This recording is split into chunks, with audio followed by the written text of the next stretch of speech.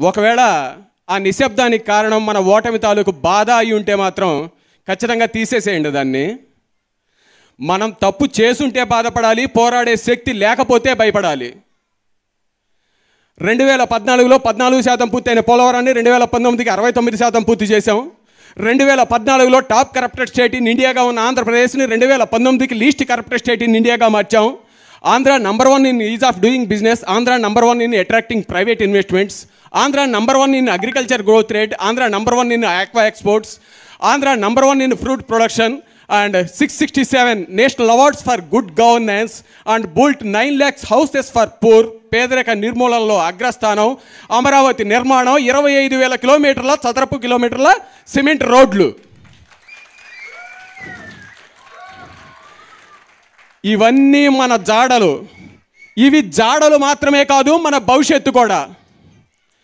మంచిలో చెడుని చెడులో మంచిని చూస్తున్న ఈ సమాజంలో మన మౌనం ఈ జాడల్ని జ్ఞాపకాలుగా మార్చివేస్తుంది.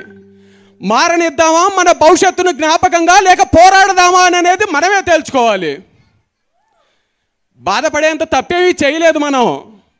వివరించాల్సినంతగా వివరించలేకపోయాం పోరాడాల్సినంతగా పోరాడలేకపోయాం.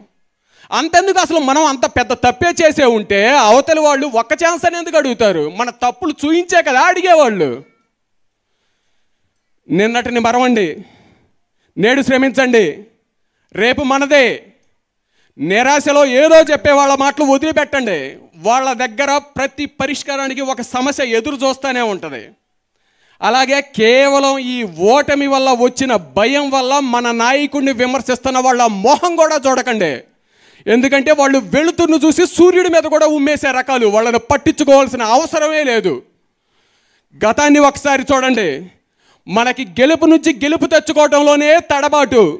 ఓటము నుండి గెలుపు తెచ్చుకోవడం కొత్త కాదు కష్టము కాదు. Let start work together to bring back Babu Johar NTR